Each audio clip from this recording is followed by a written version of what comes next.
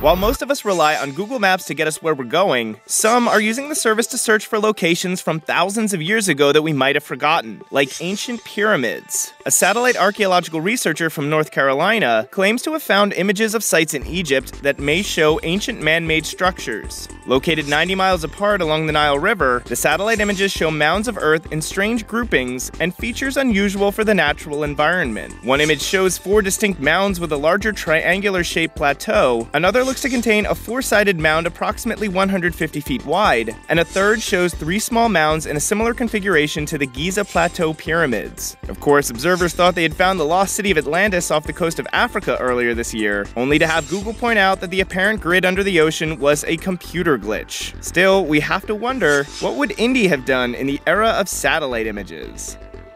Want more science? We've got the latest on discoveries and breakthroughs. Check out Slate News Science click to subscribe.